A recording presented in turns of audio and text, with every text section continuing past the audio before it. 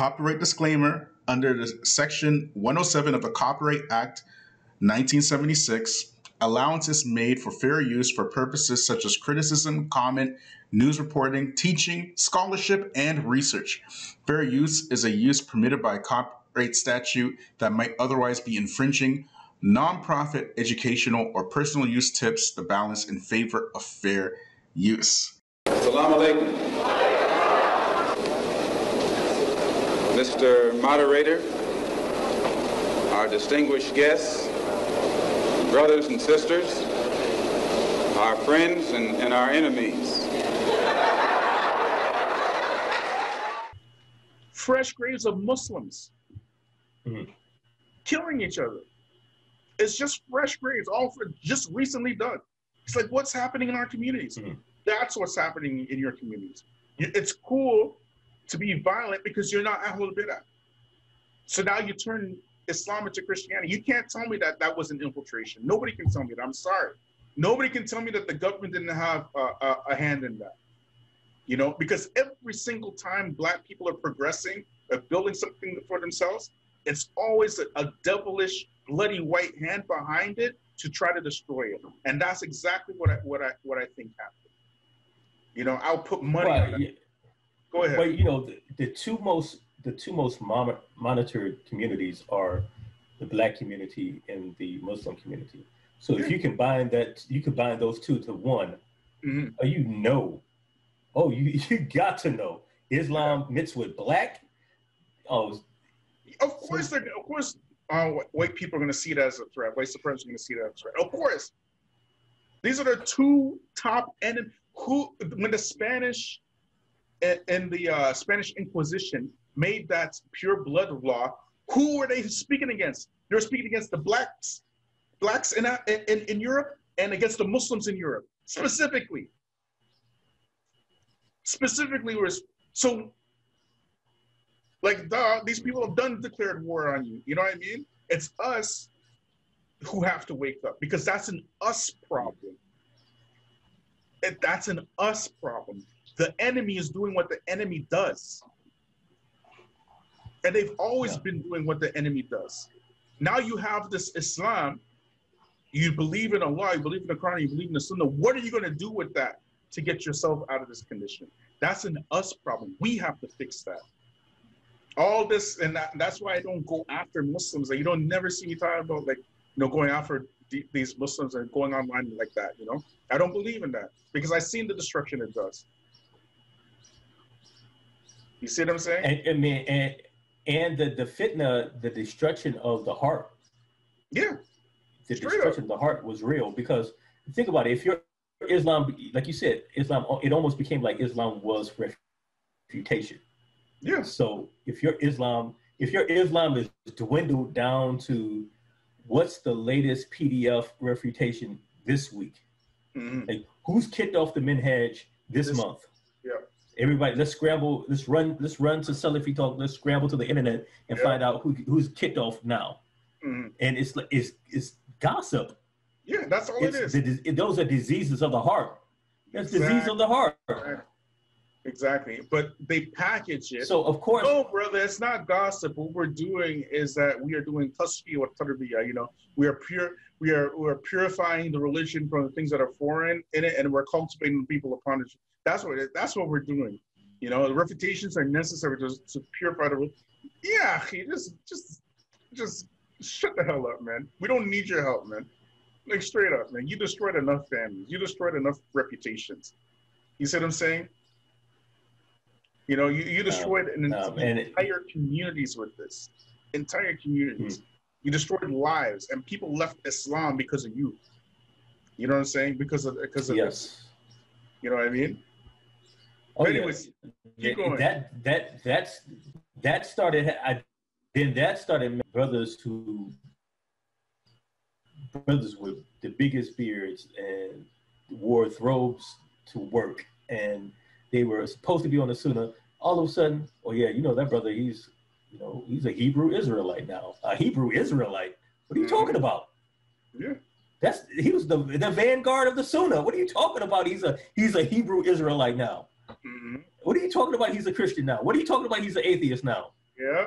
And, and I saw that like brothers who were known to be on the sunnah, sisters that were known to be on the sunnah, children from families that were known to be firm upon the dawah Mm. were so upon let's keep it real. Our sisters you had you had children going out, women taking their uh their uh, bias off.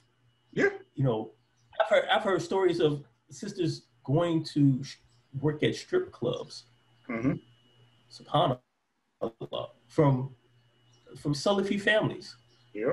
Grew up with uh, niqab, jilbab, the whole nine yards. Getting pregnant by thugs. You know, getting pregnant by drug dealers, having children out of wedlock, uh, going going back into whatever lifestyle they were in previously. Mm. Are so all this destruction that took place because of this. Complete 360. You know what I mean? Everything was fine.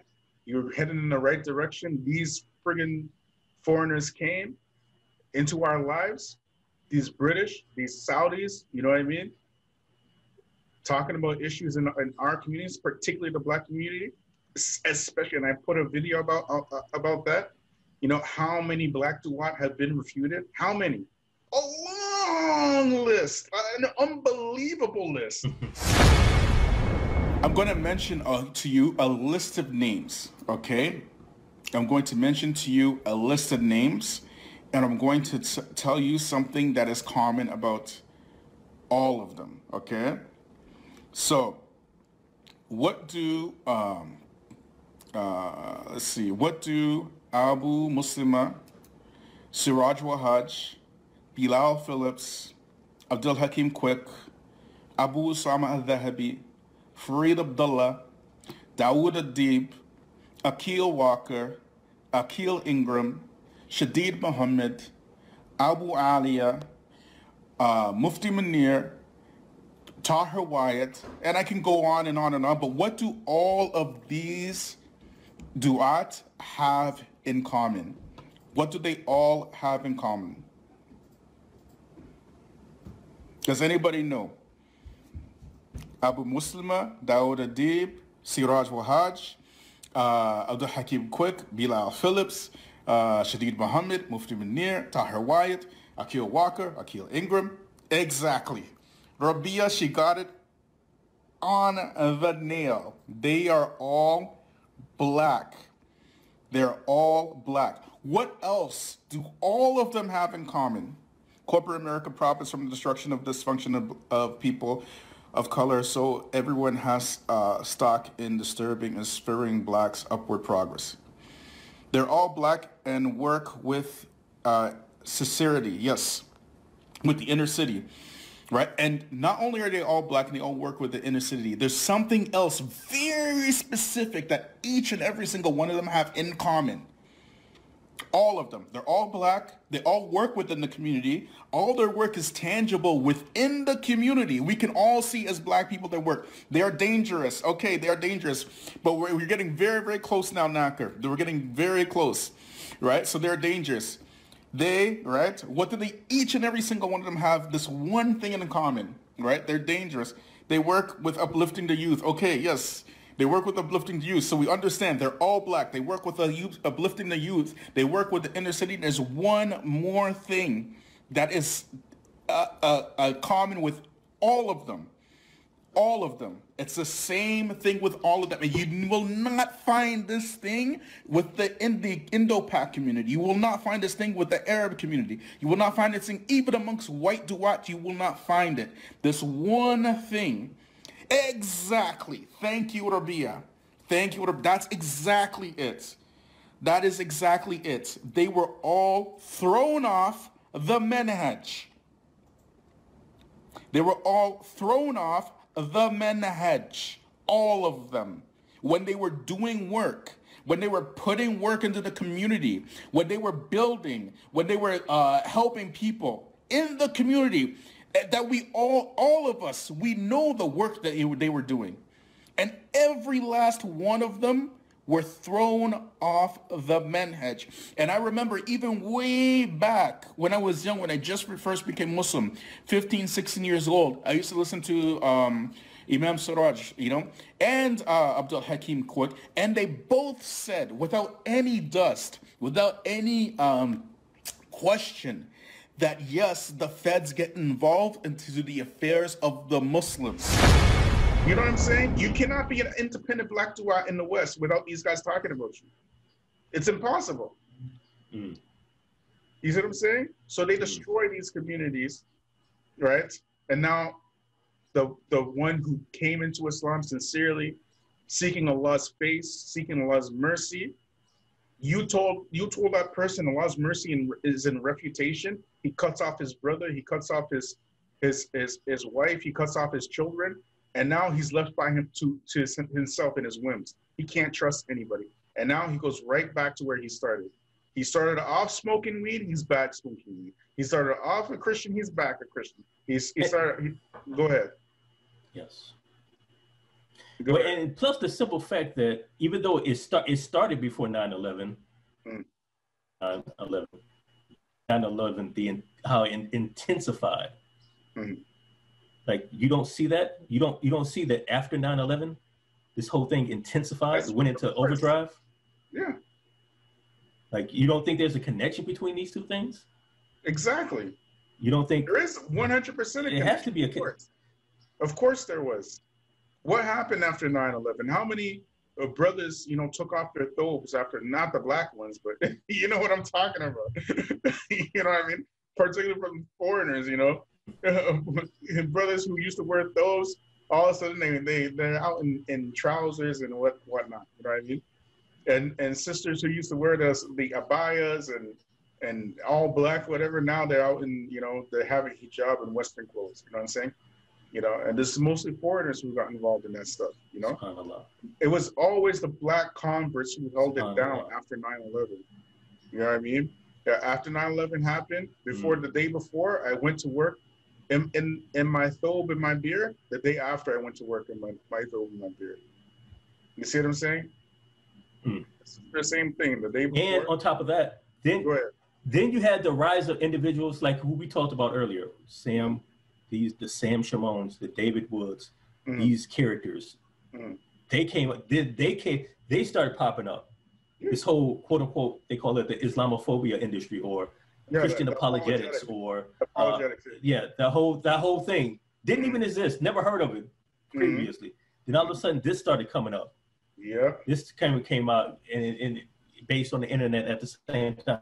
All that stuff is not a coincidence. No, it's not. All that stuff is not. It can't be a coincidence. And, and the amount of money that's in the apologetics industry for a bunch of like uneducated, unresearched, like uncouth uh, people just to come out and assault Islam.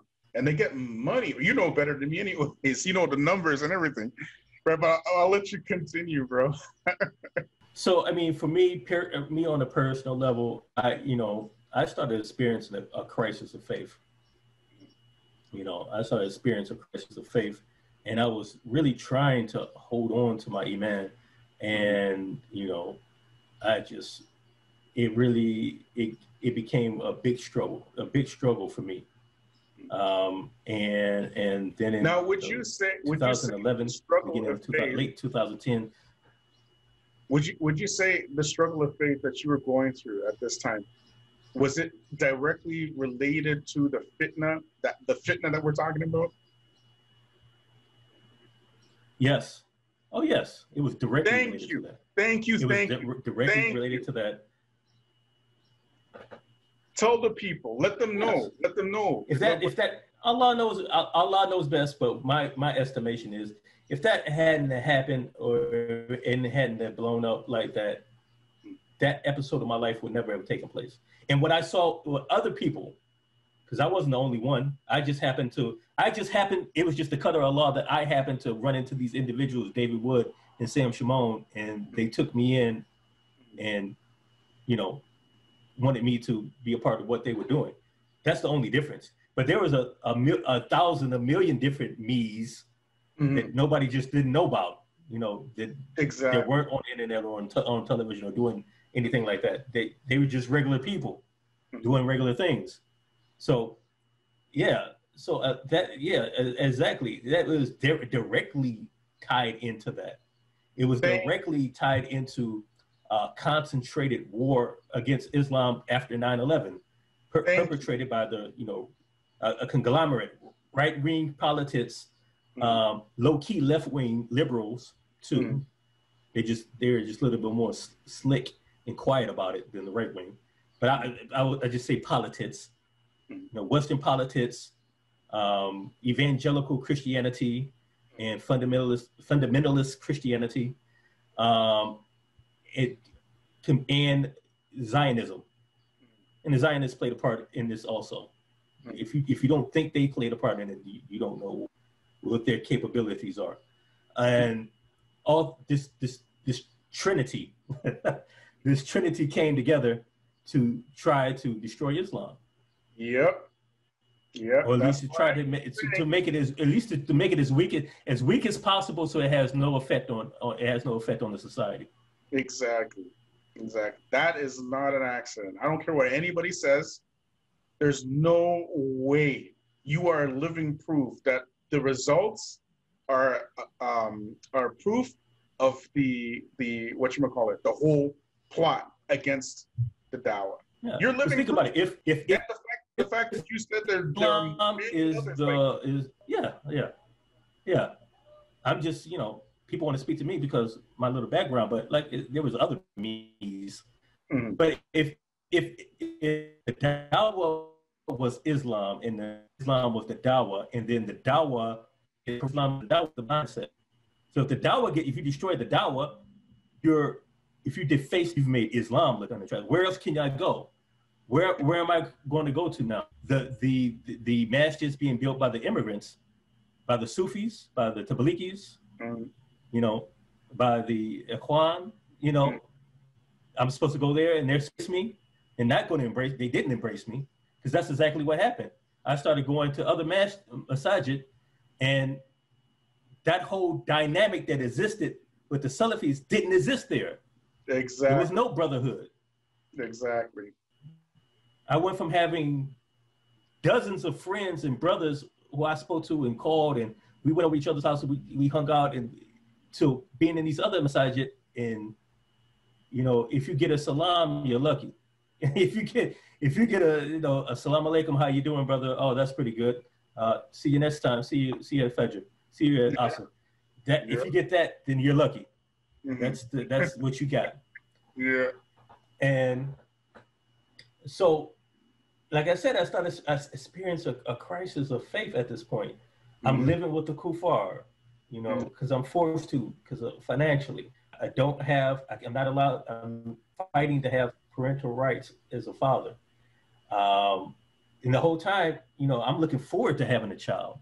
So I'm. I'm going to have a child. I'm going to raise my child in Islam. I'm going to raise my child upon the Sunnah, and then that takes that gets taken away. Mhm. That's that hope that that hope is destroyed, you know. And yeah, Subhanallah. Yes, of course, you have to accept the qadr of Allah. You have to accept because everything is a test. Life is a test. You have to accept the qadr of Allah. But at that point in my life, I just I wasn't there yet. I just wasn't there yet in my life at, at that point in my life, and um, and I let I let my Islam go, and I wasn't ready to. And, and in fact, I would even go further to say that when I when I and I analyzed what happened, I was almost mad at Allah. Hmm I'll admit Yep. that. But I didn't want to be mad at Allah. I can't blame Allah. Mm. So I, I just I blame the Ummah. hmm I blame the Deen. I blame the, the community. So I'm not going to blame Allah, but I'm gonna, I'm gonna blame you guys. It's your fault all this happened. hmm It's your it's you guys are dysfunctional. Um, you know, you made all these promises that you couldn't keep. Mhm. So it's your fault. So And really, this should be a lesson to Black people, uh, especially especially in the West.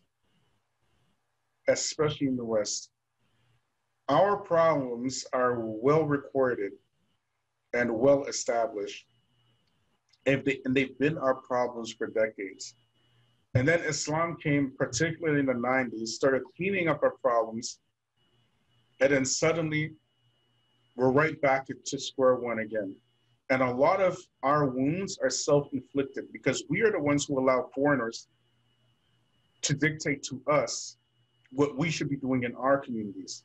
Somebody needs to tell me how Hassan Somali is in Philly right now, running an entire com- black community in Philly, and he's not from that community. And, and he cannot go to any Somali community and do what he does, the same thing he does in that black community. Somebody needs to tell me how that happens. Somebody needs to tell me how Abu Khadija, all the way from Britain, can run and dictate what Islamic centers do here in North America. Somebody needs to tell me how a fatwa from Sheikh Rabi all the way in Saudi Arabia can cause black people to move in such a way that they take their dollars, their money, their family away from the Sajid in the black community. This I, I can't I even tell you this. You Mhm. probably can. go ahead.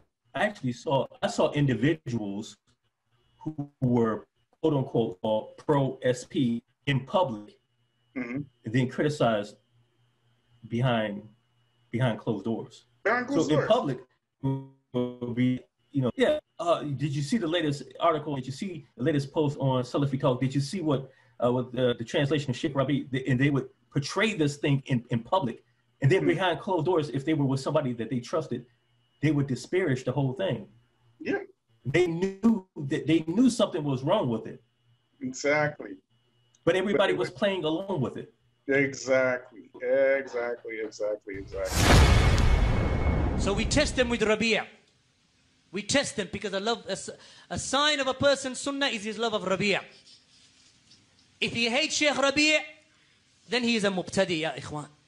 Or he is a jahil. If he's a jahil, teach him. So you don't know Sheikh Rabi', let me tell you about Sheikh Rabi'. But if he knows and he continues to speak against Sheikh Rabi' or he finds a, a, a, a, sickness in his heart or some difficulty in his heart with Sheikh Rabi', then know this person is a person of bid'ah. In every age you have people like this, ya ikhwan.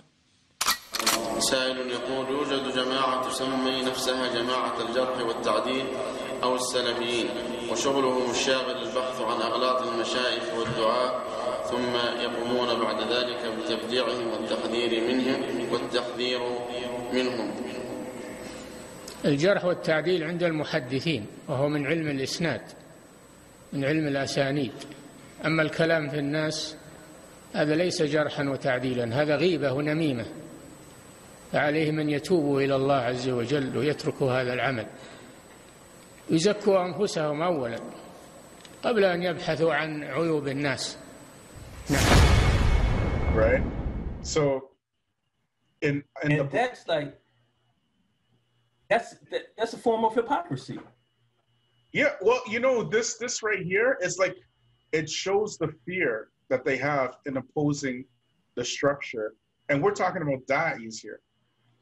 Because they they that these fear tactics literally pit an en- entire communities against just regular people, regular dudes. You know what I mean? We're not talking. We're talking like just may, maybe somebody has a had a different opinion than Abu Khadija or something like that. But he's not a da'i. He's not somebody important. He's just awam. The next day they'll do a PDF on that person. Destroy their life. Destroy their life. How many lives have been destroyed like that? And when you see that, it has a psychological effect on the community because they they see uh, people's lives, like legit their lives and their livelihood. Remember, these guys destroyed even businesses in the Muslim community. Businesses. You know, you can't sell your books here. You can't uh, open a, a, a what you call it, a shop here, whatever. They just legit. They did this. They destroy people's livelihoods. So they take the food not only out of that Muslim man's mouth, but his Muslim wife's, his Muslim children's. You know, they take the food out of their mouths because of difference of opinion of some scholar that they don't know, anyways, and they never met. Subhanallah, I keep even I would even take it further. You had like almost spying and snitching. Yeah, of course. It was They- like happened. like I heard uh, things like you know people people going people going back. You know, you know the brother listens to Bilal Phillips. You know, Mm. like things like that. Like I I haven't heard of wives doing that to their husbands. Exactly. Like I'm divorced. I'm I'm getting I'm getting a horse to Bilal Phillips, or because he was listening to you know he went to he went to the conference, Mm. you know stuff stuff like this, you know, and it was crazy. It was it It was became insane. insane. It was, and I'm I'm very happy that you said that. Uh, well, I'm not happy that you left Islam, but I'm happy that you told the reason was because of this fitna. This is directly linked because people don't believe it, but this happened. This really happened. You know what I mean?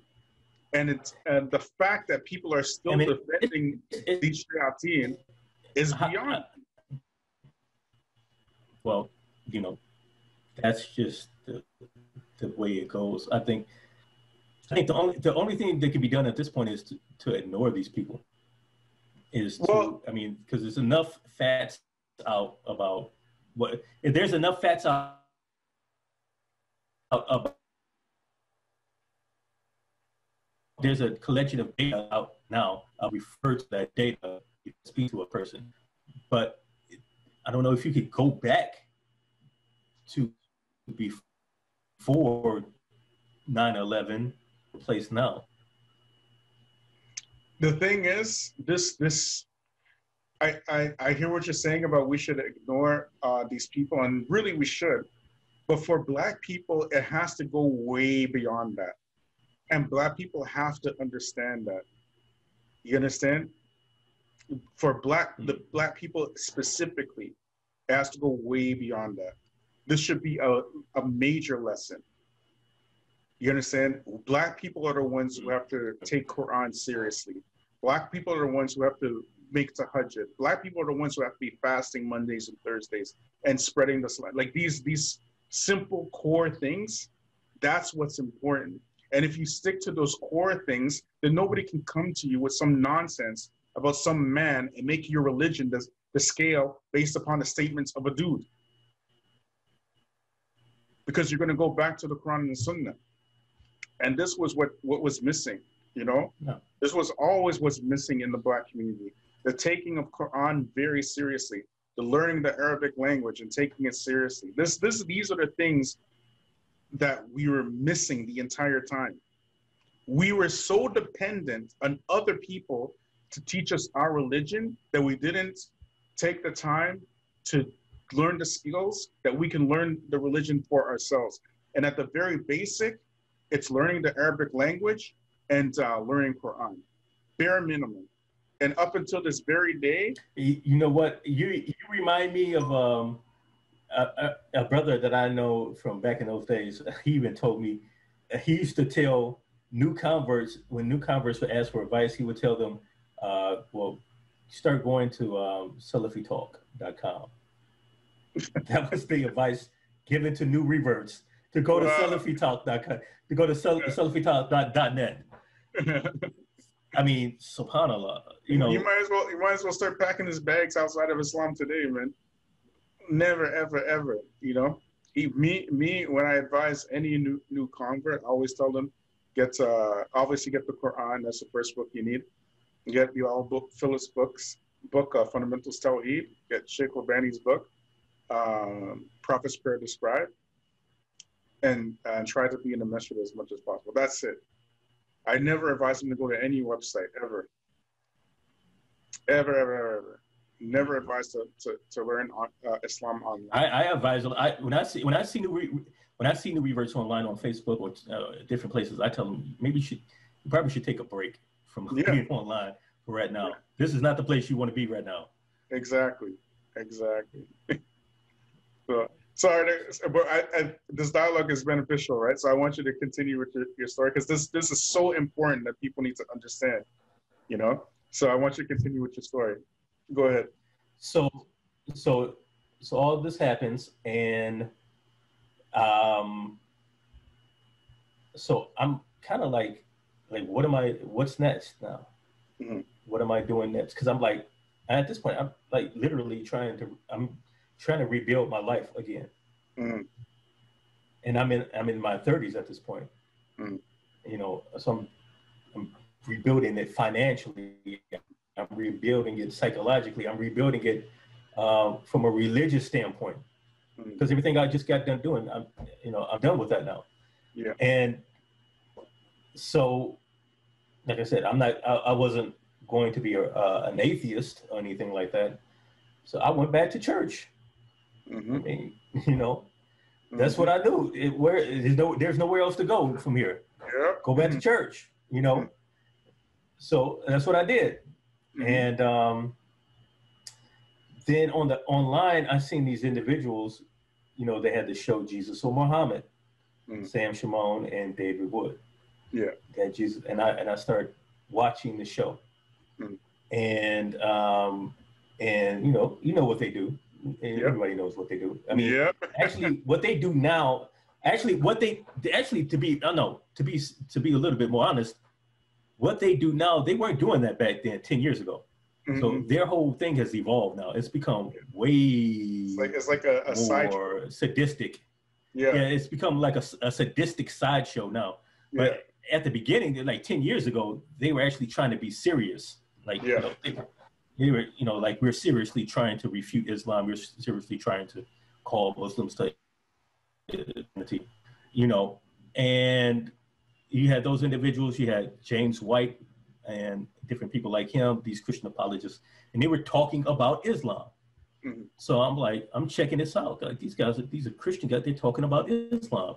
Mhm. What do they got to say? And then they're giving their criticisms and their and whatnot.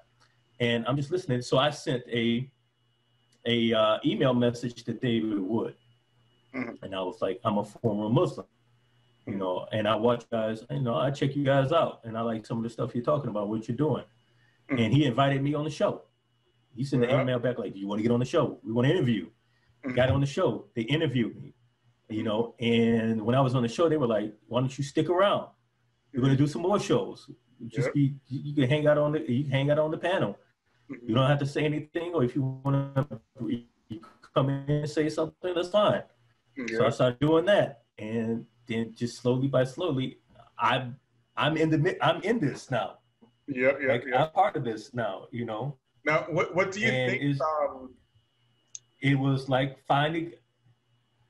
what do you think your appeal to the audience was? Like, why were they so happy to have you on their show? Like, what was it about you specifically that made them say that this guy's an ad asset to our audience? It was it was I was a double whammy. Mhm. I was not only an ex-Muslim, but I Mhm. was black. hmm I just So wanted you to say it. You know. I just Oh yeah. Oh yeah. wanted you to say. I know. I understand. I understand. yeah, I knew right off Yeah, the bat. I understand. That was it. and and you're like black black. You're not like uh, Yeah. you know like like a coon or you know one of these type of uh, you know what I'm saying. You're like you're a black black, right? So Yeah. yeah. So Yeah. continue. Yeah. No, no, I, it wasn't like I wasn't coming. I wasn't coming from like the. I wasn't coming from you know Ivy League school and then, you know Yeah. part of the Young Yeah. Republicans Club or something like that. You know, you know I'm from Detroit. I mean, you know, Yeah, I'm, a, I'm exactly, a ex Sullivan exactly. from Detroit. You know, so so you know it it gave I just for them it gave them legitimacy. exactly. They gave them a, a level of legitimacy. It's like, all right, it's not just me. It's not some black guy and some uh, Assyrian guy saying this. Yeah. Look, he he's he's he's he knows the he knows the the problems with these Muslims. He knows he knows how those people are. Mhm, He knows how dysfunctional they are. mhm. You know, so so that's what that was. That's what that was about. And so I began that, and I felt like, well, maybe you know, um, because when I was Muslim, I I had the intention and the goal to seek knowledge. Mhm. So my plan was I wanted to go to Yemen Mhm. to the Damaj, and I was going to spend maybe a year or so in Damaj to learn and perfect Arabic. Mhm. And then I was going to try to get into a university, maybe in Mhm. Saudi. And so I was like, well, why don't I just carry that plan out in Christianity, you know? Mhm. So I enrolled in a seminary. Mhm. And um, I started studying uh, the Bible and Christian theology and biblical studies. I got a Mhm. degree in bibl- biblical studies. And um, I was like, well, I, hey, I'm in this. I'm, I'm, I'm going to be uh, a, a church elder, pastor. And um, so that's that's the route I took. I ended up joining the church. Um, and I was in the church. I was in this particular church, and I left it. I left that church. Then I went to a different church. And I settled down into that church. Then I, you know, I found my wife. I got married. I built. I basically built my life up again. Mhm. You know, started a brand new career. Had a wife. I'm in the church. I'm respected. Everybody likes me because I'm the ex-Muslim. I'm the black ex-Muslim Yeah. um, you know, I got I'm on television. I'm doing I'm doing I'm doing the thing. Like like you know, this is what I was looking. This is the life I was looking for in Islam. Couldn't find it. Now I found it in. Christianity now. when, you left, And um, when you left Islam, like what what was the feeling that you had inside you? Was there like anxiety or like like what was what was going through your your mind and your heart at that moment when you, you made the decision to leave Islam? at that point in my life, that was like uh, like I said, 2011. My mind state at that point was, I'm tired. I'm tired Yeah. of the mash, the masajid. I'm Mhm. tired of I'm tired of the immigrants. I'm tired of the Negroes. Mhm. I'm I'm just tired of these people. Yeah, I'm tired of this whole thing. I'm I'm done with this whole thing. Perfect description. I'm done with it. Yeah. Okay. So continue. Continue. So now you're living your life. Yeah. Yeah. This is what you wanted in Islam that you could not find. This camaraderie, this brotherhood, this accept, this um, acceptance. Continue. Yes. Mhm. So, but slowly but surely, I began to see the cracks in this. You know, it's like I said. Um, I looked at these Christian apologist guys that I, I, I met, and I even seen some of the behavior in them that I saw in the Salafi community.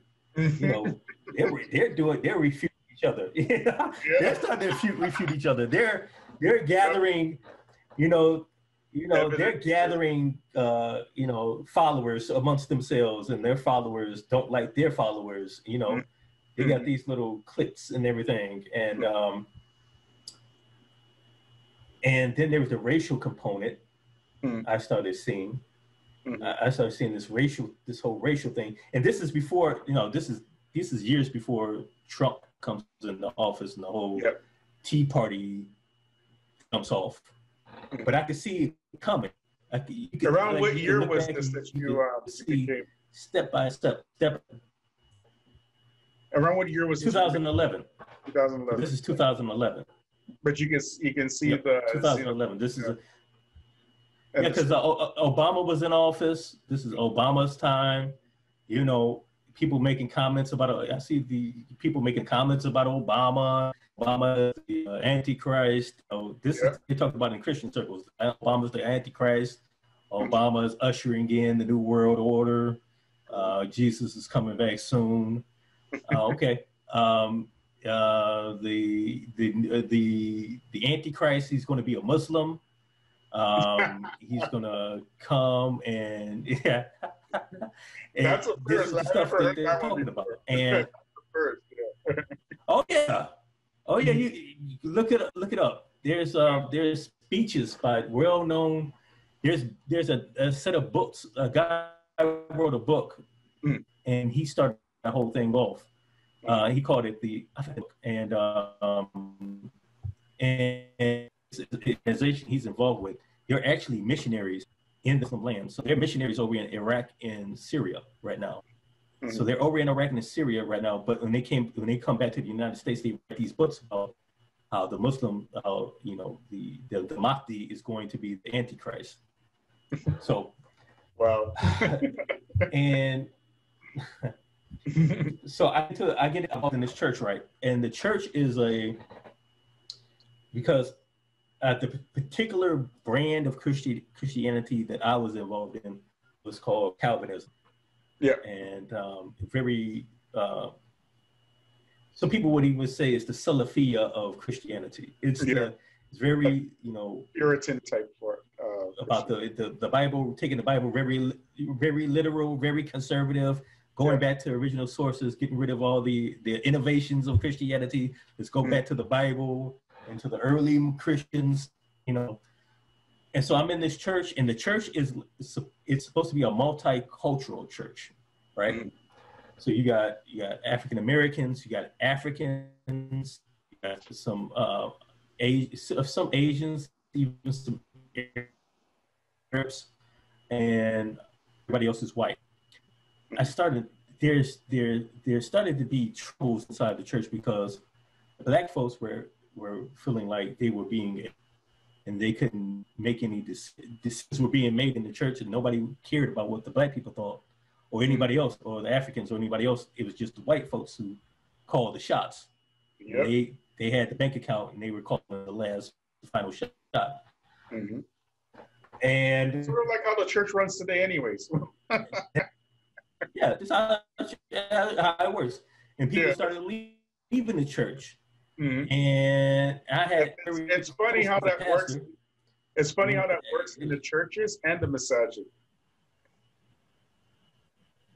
Yes. I was close with the pastor, and he was he.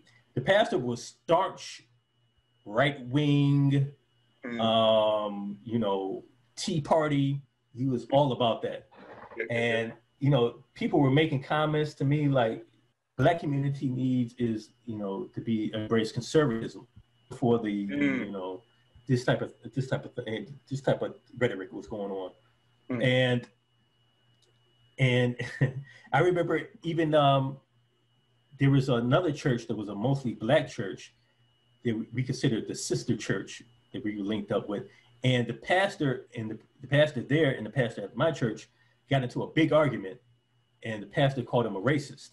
Oh, wow. And that was like a big deal. Yeah, he called him a racist, and he's like, you know, forget my phone number, don't speak to me no more, you know oh, and wow. you know and that that became a controversy and i knew christians around the city in different places i knew christians around the country really because i was doing the uh, apolo- i was linked up with these uh, christian apologist guys Mhm. and i had spoken to a, another black christian in a black area and he was like you know we consider your church a white church Mm. because even though you got black people there, the leadership, the, the leadership, the leader is white, and he does everything for the white people. He doesn't do anything. He doesn't consider it, you know, the black people. This is the same thing. People were in the church.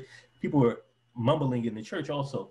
Now I went back to the pastor, and I was like, you know, I had a conversation with Pastor such and such, and he said this, and old boy almost cursed me out. Like he blew up. Like I was like, hold, well, hold on, man. I, I didn't say. I, am just It's telling not- you what the conversation I had. Like, why Yeah. you getting angry at me? Yeah. Yeah, I what you get angry at me for? Yeah. And that's that was like. Then I was like, uh. Then Trump came in. Mhm. Trump came. Trump got elected, Mhm. and I was like, the whole thing just like, it almost came to the when Trump came in. It was like there's like Christianity and politics became married to each other. Together, yeah. And it was to the point where people didn't even talk about Jesus. People weren't even talking about Jesus anymore. Yeah. Mean, nobody was even talking about Jesus. Like I told you, they thought the uh, the the solution for Black people was to become conservative. They didn't even they didn't even say anything about the gospel or Jesus or anything like that. Mhm. You know, it, this conservatism, you know, is the solution. Mhm. And that whole thing became such a mess. And I even saw it even with the Christian apologists like Sam Shamoun and David Wood, they started changing. Mhm. They became, you know, that's when they, you know, uh, David Wood started making these videos. Eat, he was ripping out pages of the Quran, eating them, and he was dressing up and he was doing all this wild, wacky stuff, you know. And I, and uh, yeah, and I'm like, man, I can't, I'm not down with that. I can't even. I took a break from the internet actually for a whole entire year Mhm. I just I turned off my I, I disc I I turned off my accounts for Twitter. I turned off my accounts for Facebook, and I didn't. I wasn't making any videos on YouTube. I did for a whole entire year. Mm. And um, Sam Shamoun came to me at that point, and he was like, "Man, you're not even active anymore. What's going on?" Mhm. Like, you know, I was like, "Man, I, I, I just, it's just this is too much for me. You know, this is not what I was. This is not what I came over here for." Yeah. it's a little nuts for me. And, in, you know, he was trying to encourage me to write for the website he was writing for, a website. This is the Zionist aspect of it. I saw Mm. that aspect as well. So Mhm. then I saw the Zionist aspect of Zionist money, which I could never figure out. But the, Zionists, the Zionists were, don't, I, I never even heard the, the part that the Zion played was with these Christian apologists who are going after Islam. Mhm. That's their part of them giving the Christian apologists money and supporting them. Which I, again, I never figure out who believes Jesus was, you know, they believe that Jesus is boiling in excrement. That's what they have inside their books. Can you can you That repeat Jesus is in hell, peace be upon him. Connection. So I, I was asking. I was asking. Oh asking. yeah. So in the in the books, Yeah, I was asking about the Yeah, so the so the Zionists, Mhm. I saw, yeah, the, the Zionists were. I saw that they were in the background. They weren't speaking. The Christian apologists are the ones up front speaking, but they're in the background lending support, wow, especially with money, Right. making donations to these to these organizations and to these individuals. Yeah. So- So, you So know, time out, time out, like, time out, time even out, to time out. right. So you're saying that the Zionists were funding the Christian apologists, and we were recently talking about uh, this the fitna, right? And there's no way that this fitna just happened organically. It's impossible. In my opinion, it's impossible.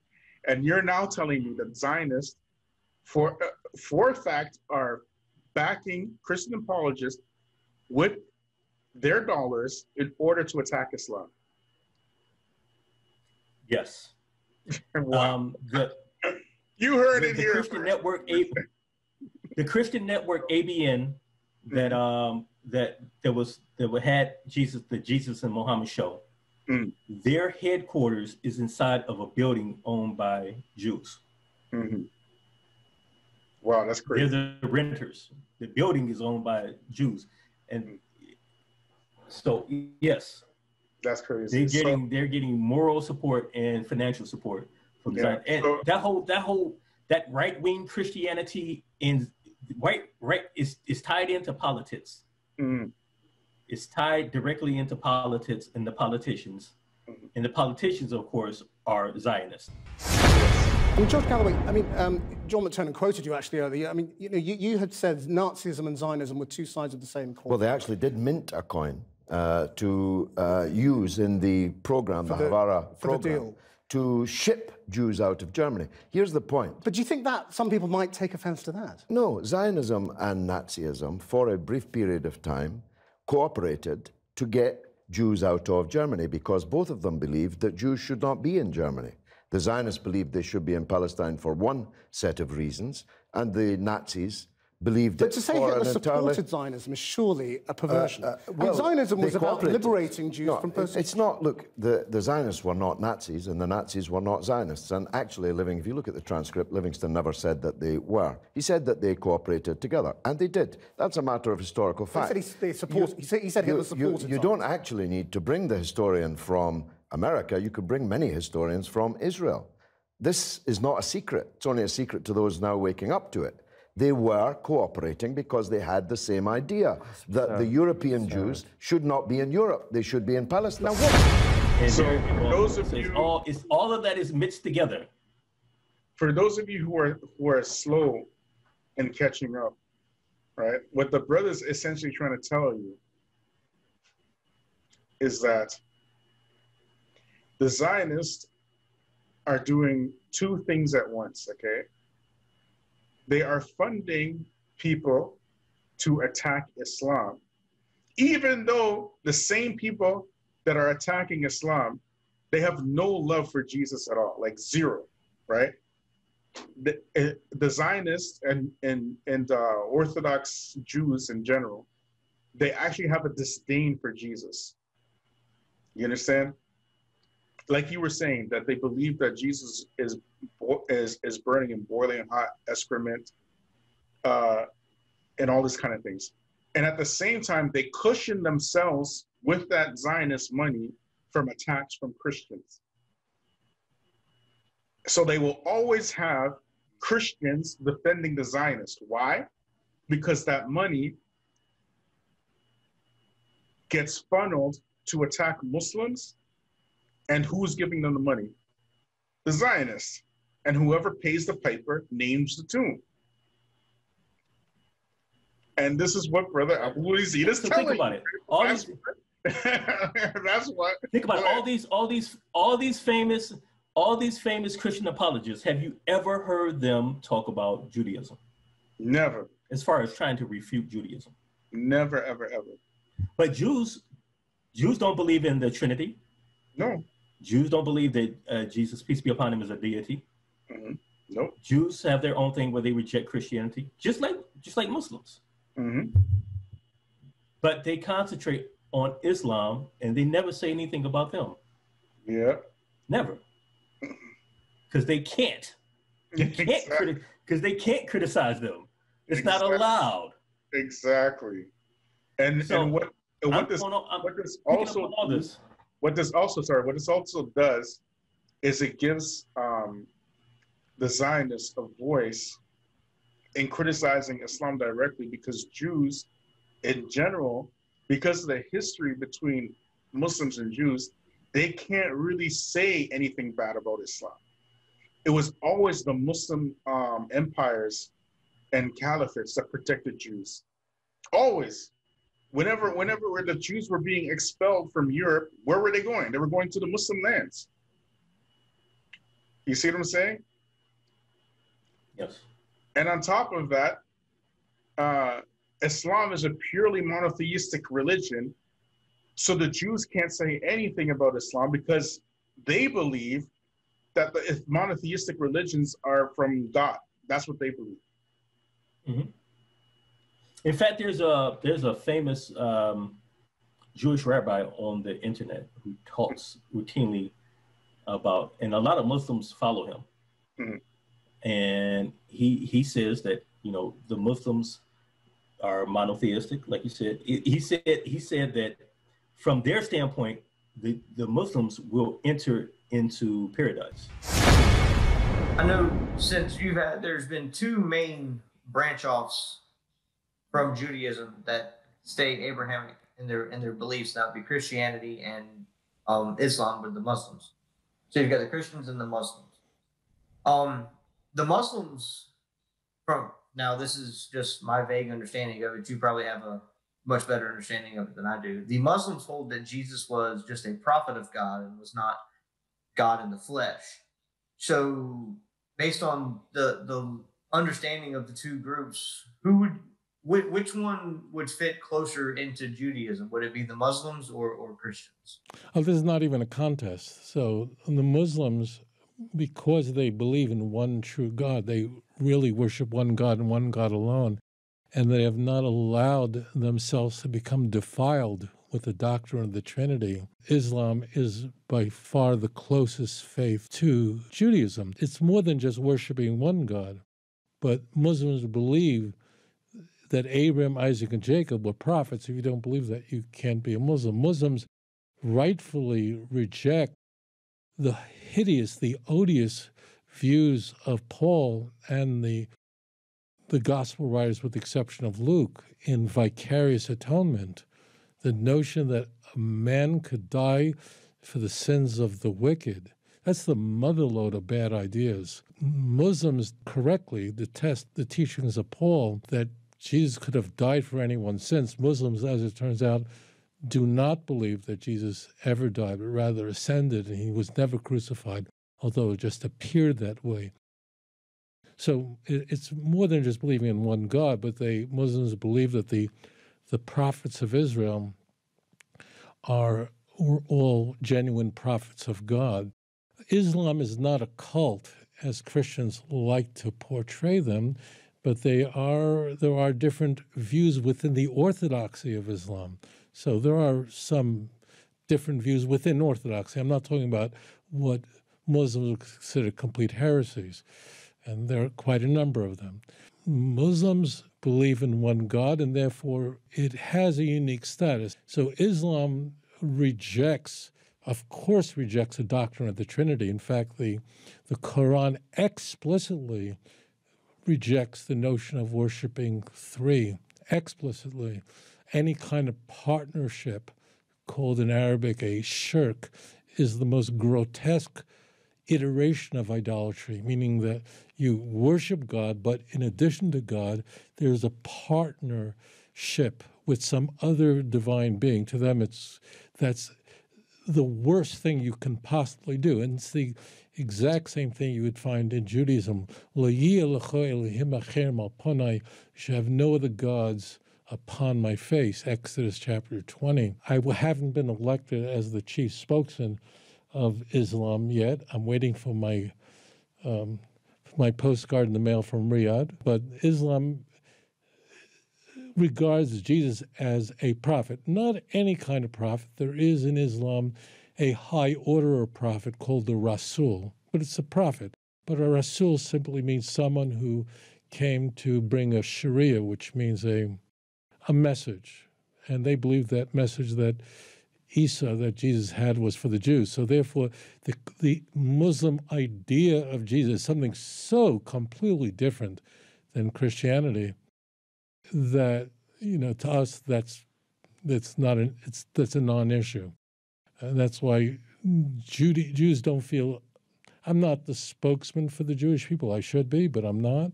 But Jews are not really offended by Islam. On the contrary, we feel, you know, that that's really respectful. But they don't think that Jesus was divine or died for anybody's sins or could die or anyone could die. And rather, Muslims appeal to God's mercy and, and hope that they would be forgiven for their sins. So it's, it's completely different than Christianity. Because they're monotheistic and they don't worship the idols.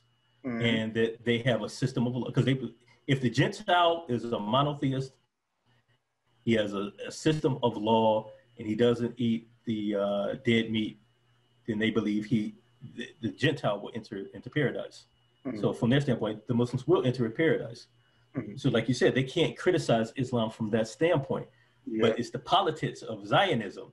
Mhm. The politics of Zionism causes the conflict. Exactly. So, so, so you can almost say because they can't criticize the re- uh, the religion of the Muslims, but they have this issue with the the Zionism.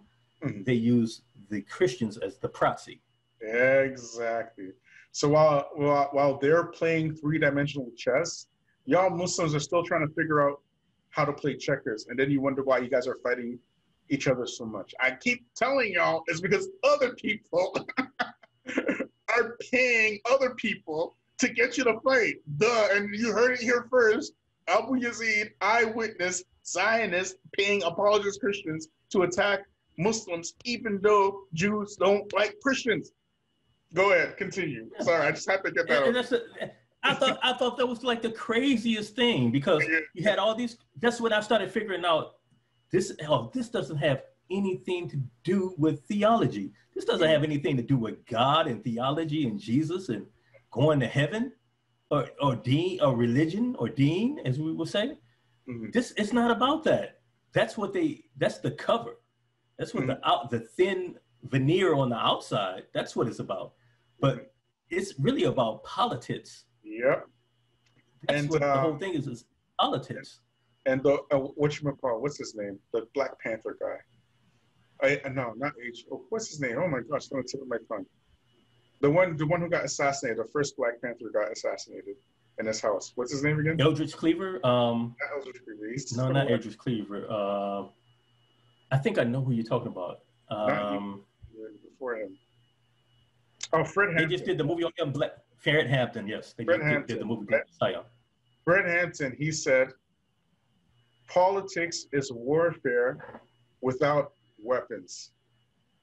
Mm. And warfare is politics with weapons.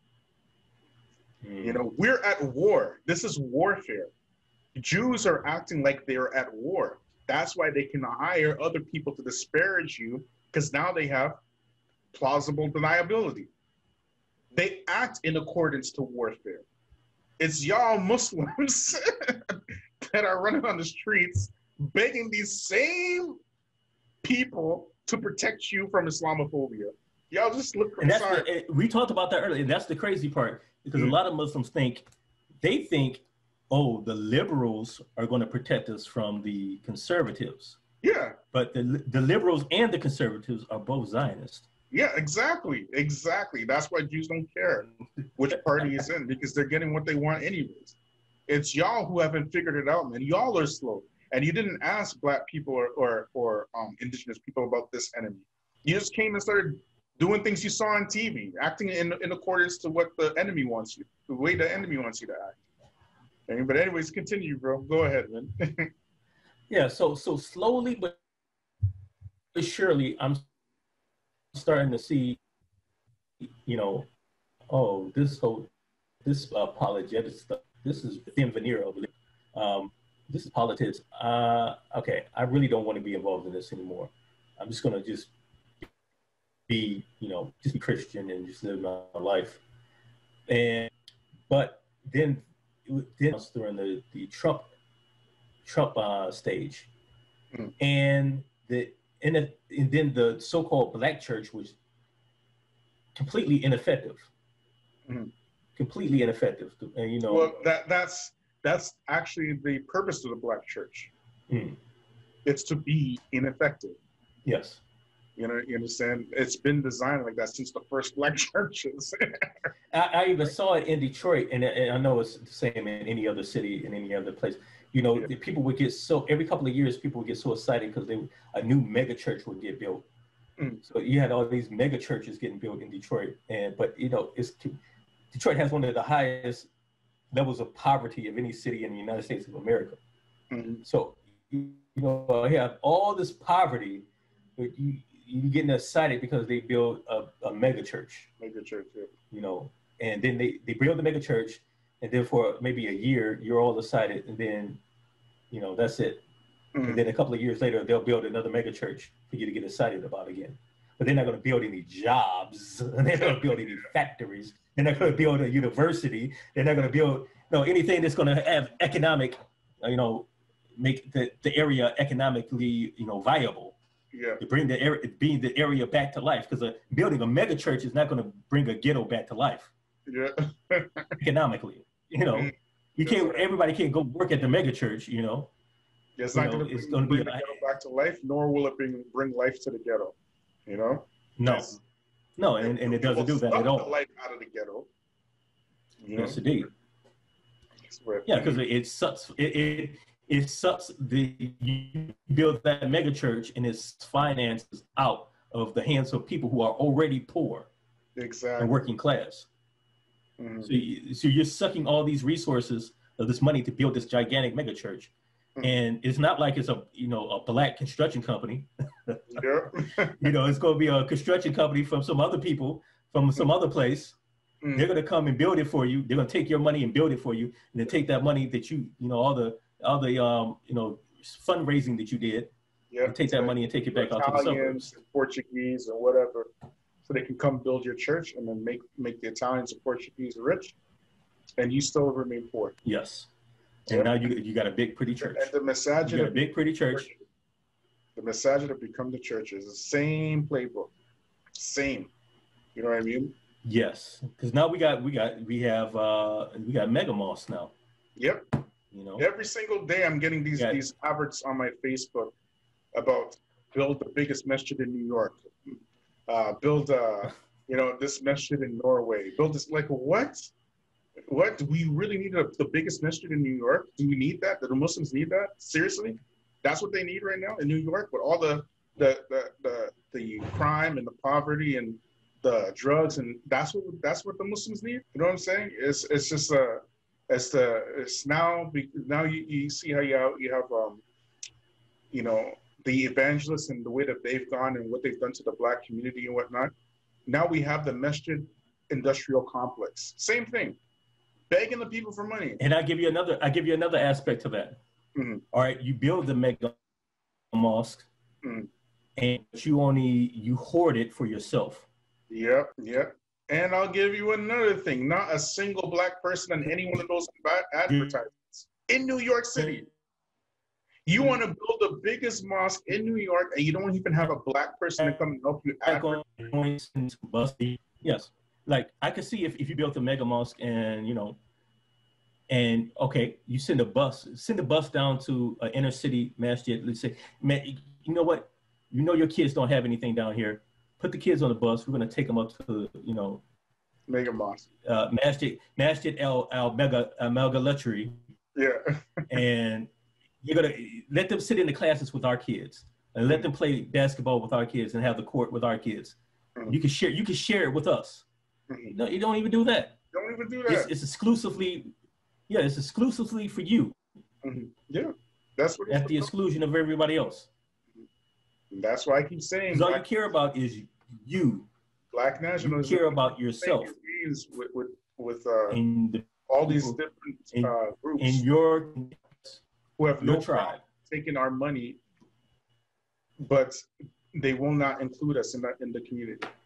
No issues taking our money to build mega mosque in New York. You, build, you make an advertisement in New York City, not a single black person in your advertisement in New York City. New New York, one of the largest populations of black people in the West, and no representation of black people at all, right? But you want us to donate. Anyways, that's a different story altogether. But anyways, yeah, keep going, bro. No, no, no. Yeah, and all the time you and you and you're posting on uh, social media. There is no racism in Islam. Ain't no racism in Islam. I mean- yeah, there is no racism in Islam. That's a true statement. But you are racist and a Muslim. That's true. that that is true, but but it is not going. That's not that's not going to cut it. You have to Yeah. have some action behind you for the words to really mean something. There has to be some action behind the words. Exactly. Exactly. We, we, we, ain't with your lip service anymore. That's just not, It's like we're not feeling that anymore. it's just like uh, how Allah Subhanahu wa Taala in Surah Al-Ma'idah, that how uh, Allah Subhanahu wa Taala criticized the Jews because they had the Torah, Mhm.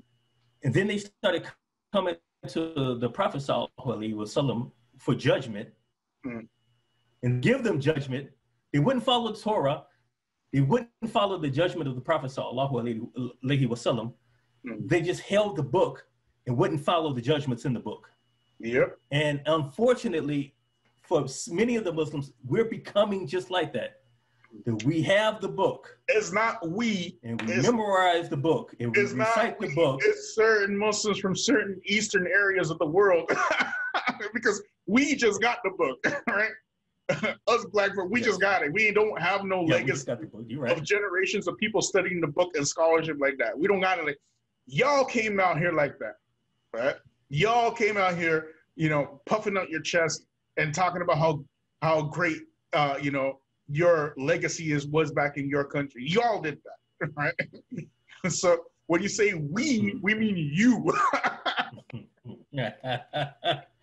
yes, yes. I, I'm trying to be. Poli- I'm trying to be a little political. yeah.